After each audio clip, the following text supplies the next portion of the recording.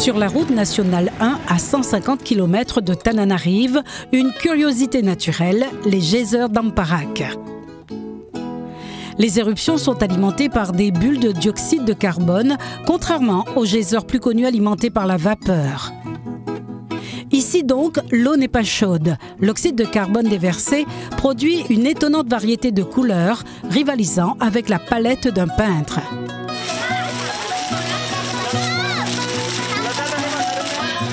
Une coloration particulière et des vertus thérapeutiques selon les nombreuses personnes qui fréquentent le site.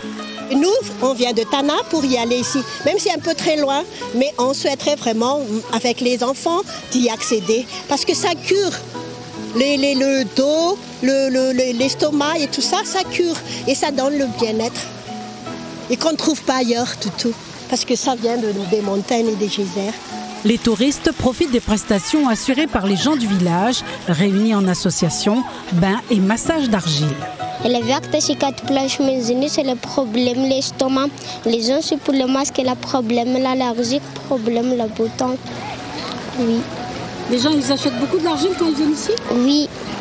Et l'argile, elle a de la canade et l'argile verte, elle est de côté là-bas. Les filles, elles, proposent du face painting.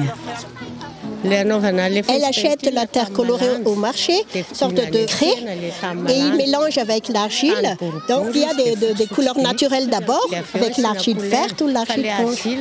Et puis ils font les, elles font les face painting avec. Donc il y en a des jeunes femmes, elles étudient encore, mais pour euh, renforcer, avoir leur matériel, elles font le face painting.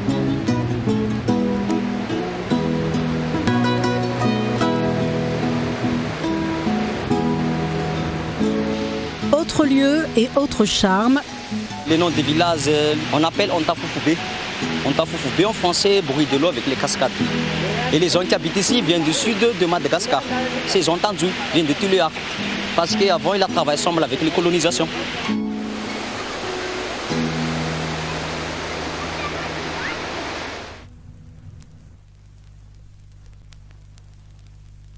Regarde là-bas ces deux grandes cascades, les chutes de la cascade Lily et son histoire mythique.